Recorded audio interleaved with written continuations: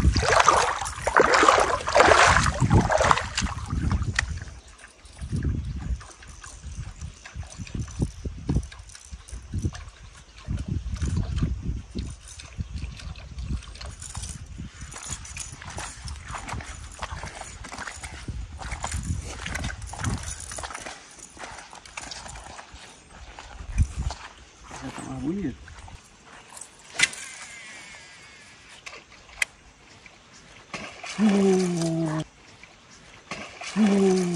porrada bonita. Ele vem, ele vem. Joguei em cima dele. Trairão, hein? Isso que é sensacional da pesqueira de trairão, tá maluco? Ele pula, parece que o mundo vai acabar. Vou jogar em cima dele de novo, ó. Cairão é territorialista, no mesmo lugar, um pouco mais para a direita ali, ó. Para a direção que ele pulou. Pegou, agora pegou. Joguei no mesmo lugar, e é o mesmo. Vara de 14 libras de novo. Só mudamos de ponto, mas o material é o mesmo. Meter mais pressão aqui, para dessa vez a gente tirar. A vara aguenta. Ó. Ah, garoto. Agora chegou perto ter calma. Ó, tá bem fisgado. Uma garateia, garateia de cima. Saiu. Tá maluco? Tá maluco, Mad Dog? Hoje você tá me aprontando, hein? Bora ver se tem ali pra direita também. Ali foi o mesmo trairão, hein?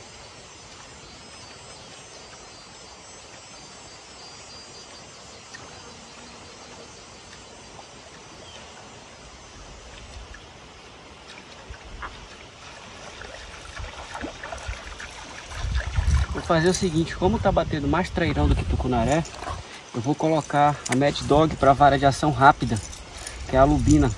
Essa aqui é a vara para trairão, tá? Quando você estiver perdendo peixe, saiba que a ação da sua vara é fundamental.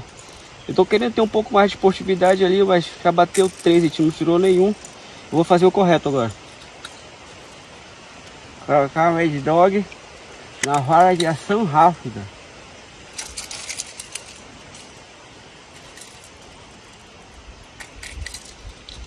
Aqui, ó.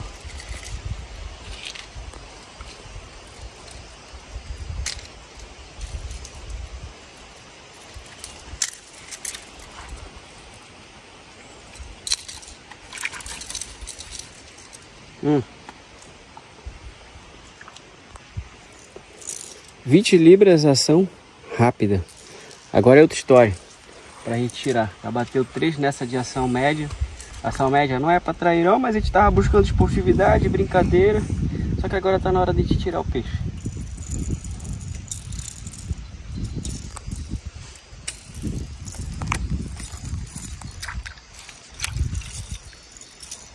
Acompanhe aí a diferença.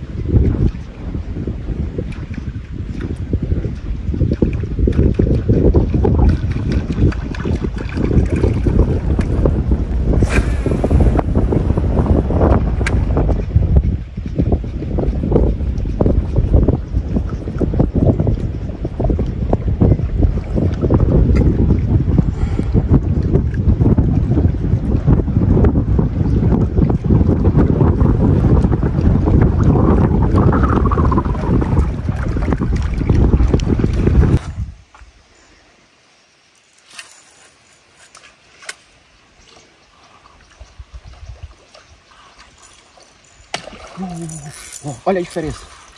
Olha a diferença, para pressão, para pressão. Para de 25 libras é outra história, meu Deus. É outra história. Querendo ou não querendo, ele vem agora. Já era. Aqui não é brincadeira não. Para você aí que vai fazer pescaria de trairão, não escolha vara de ação lenta ou ação média. É vara de ação rápida para dar constância e pressão na fisgada. Olha aqui, a probabilidade desse trairão sair é muito pequena. Pode sair, até pode, mas comparado uma de 14 libras, é quase zero. É quase zero a possibilidade dele sair. Então quando você for comprar uma vara para a pescaria de trairão é ação rápida. Veja, tem vara de libragem baixa com ação rápida, tem vara de libragem alta com ação rápida.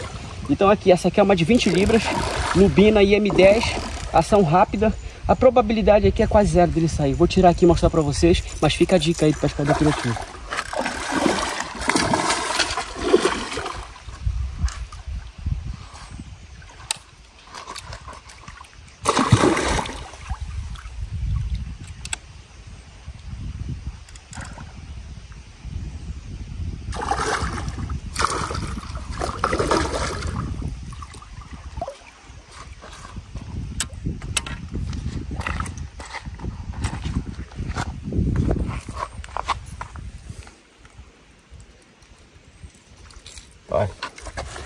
Olha a diferença aqui da vara de ação rápida, olha. Olha só. Entra, fisgou. A vara de 14 libras fica só engatadinha aqui, ó. Fica só assim. Ela não tem pressão e ação de vara para poder fisgar na pele do trairão. A vara de 25 libras, ela entra ela transfixa. Então é muito mais difícil você perder. Perdi três aí para mostrar a esportividade, para gerar uma, uma adrenalina maior, porque eu gosto disso. E agora não era para brincadeira. Olha aí. Belo treirão. Show. Pescaria de pedral aqui.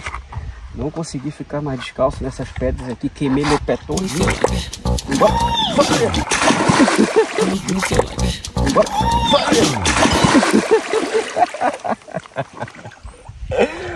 Fazer a soltura do trairão aqui.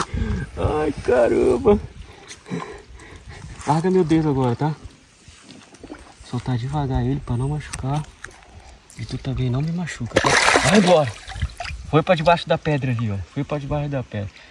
Momento vídeo cacetada com o pescador criativo. Tá maluco?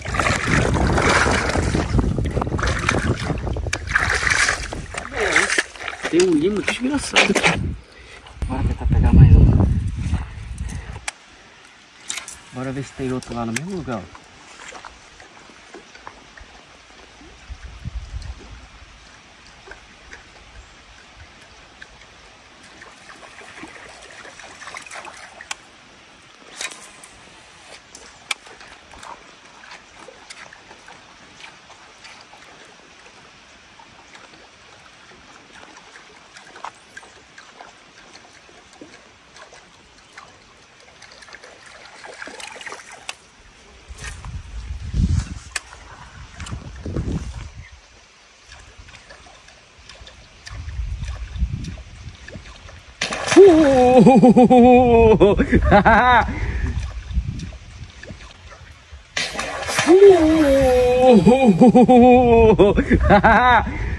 Se ferrou, trairão. Tô com a vara de 25 libras agora, garoto. Ó, ó. Mantenha a pressão aqui. Mais uma vez eu vou provar para vocês a diferença de usar uma vara de ação rápida. Ah, garoto, já era. Ó, saiu outro, saiu. Acabou de sair daqui, ó. Outro acabou de sair. Pressão, hein? Pressão. Ó, pode meter pressão aí, não adianta. Você já é meu e não sabe. Você já é meu e não sabe. Viu aí? Fica a dica. 25, 20 libras, 17, não interessa. O importante é a vara ser de ação rápida. Dá um close aí desse outro gigante aí. Pode se retorcer.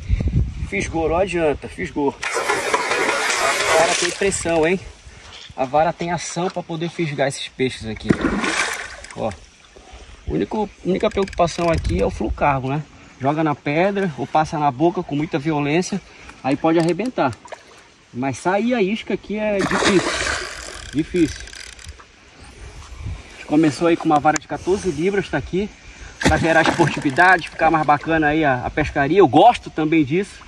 E agora, para deixar um pouco a brincadeira de lado e garantir os trairões, tá aqui, ó. ó tá aqui. Não adianta. Você já é meu e não sabe. Agora tá sabendo.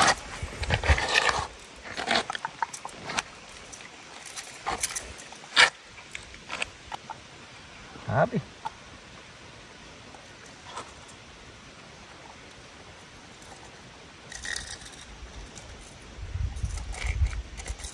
muito cuidado. Muito cuidado.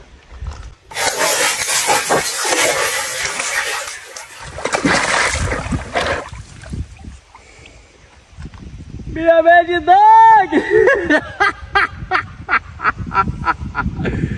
que cagada que eu fui fazer agora! Que cagada que eu fui fazer agora! Levou minha Mad Dog, não acredito nisso. Não acredito, eu já ia dizer que eu deixei meu alicate lá no barco. Não queria machucar, eu sempre pego com muito cuidado para não pegar pela guerra, pegar só pelo opérculo aqui, pela essa parte óssea. E eu sabia que isso podia acontecer e aconteceu, tá maluco? Caraca, ele não vai morrer não, as duas garateias estão para fora. Ele vai conseguir tirar essa isca e ele vai conseguir sobreviver. Arrebentou, eu tô falando, olha. O risco era esse. Era o flucarbo passar na boca dele, olha. O flucarbo passar na boca dele, que foi o que aconteceu. Eu peguei aqui pelo opérculo, força moderada, não quis meter muita pressão para garantir que ele saísse saudável e acabei perdendo, porque na hora que ele se debateu, bateu, olha como ralou toda a minha mão aqui, ó. Toda ralada. Acontece, acontece, quem tá na, na pesca, quem tá jogando linha, tudo é possível. Pelo menos eu não me machuquei, poderia ter me machucado. Cuidado, manuseio errado.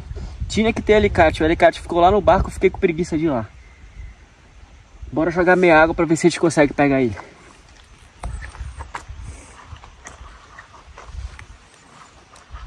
Cagada, que cagada. Olha a vara extra aqui. Ele vai vir pra beira, tu sabia? Vai.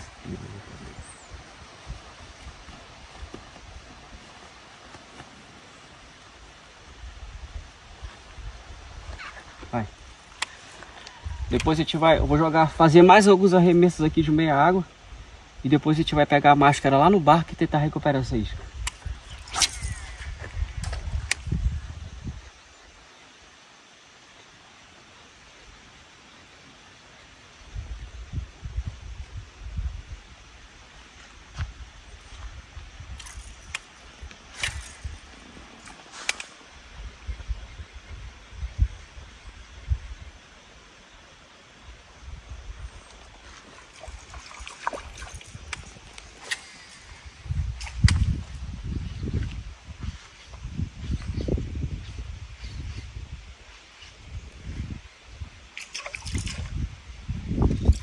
Aí pessoal, o Sturek foi pegar a máscara lá e vai ver aqui se consegue identificar onde é que aquele trairão tá com a isca pra gente tentar pegar ele de volta.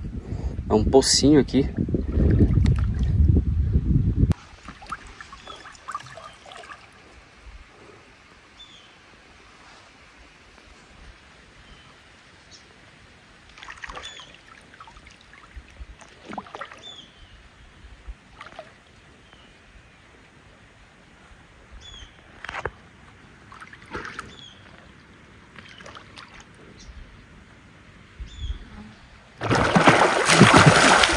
Caramba!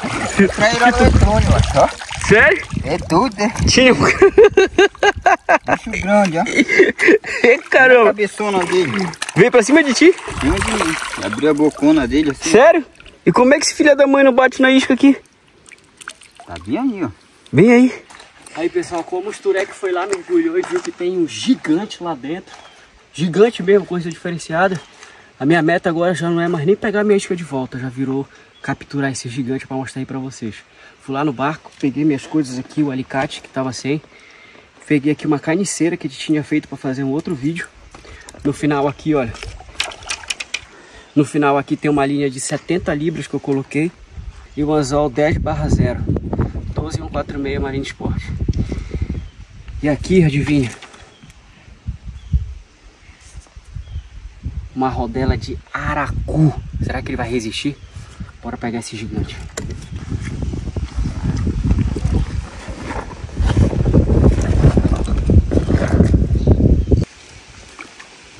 Bora lá, o Sturek falou que tá do lado, tá do lado da pedra lá. É. Do lado da pedra. Bora descer agora do lado do ladinho.